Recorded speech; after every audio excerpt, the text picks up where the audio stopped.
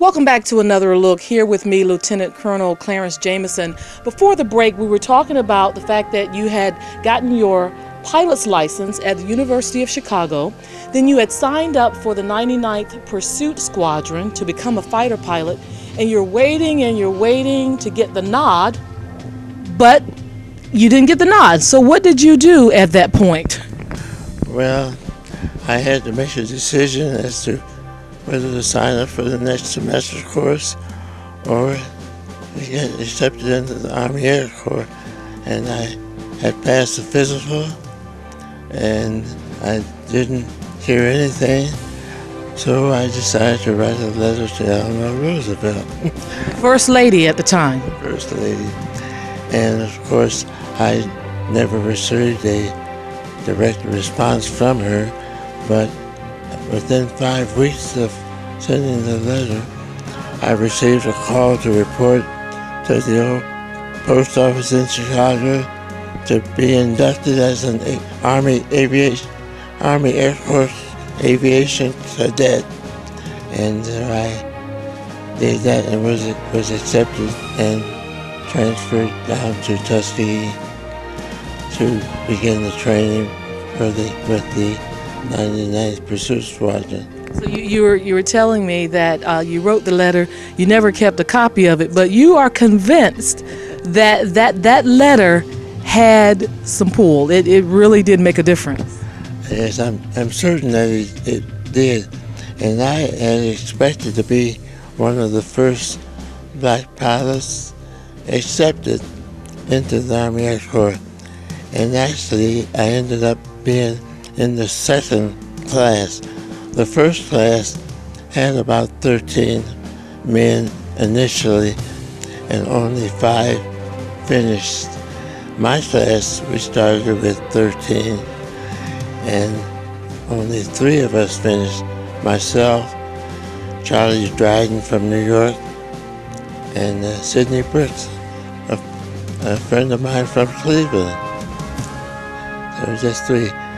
And then a, a class was graduating about every five or six weeks. Then uh, I I was in the second class, th- three finished. The third class, four finished. So that left five, three, and four. We're trying to get to about almost 30, 28 pilots. We're trying to attain at least 28 pilots, which was required to form a fighter squadron.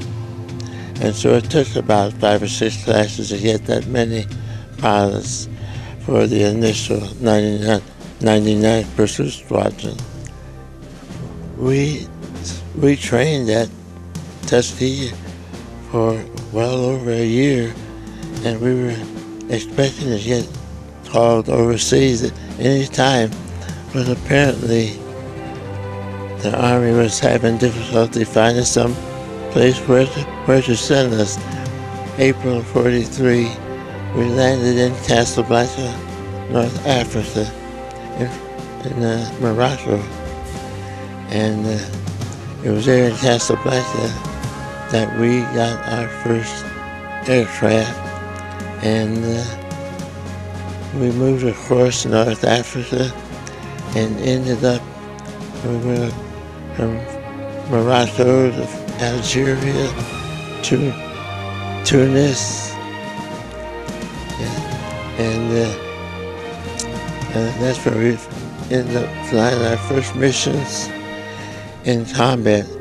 And so I was uh, selected with three other fellows to fly with this uh, white fighter group.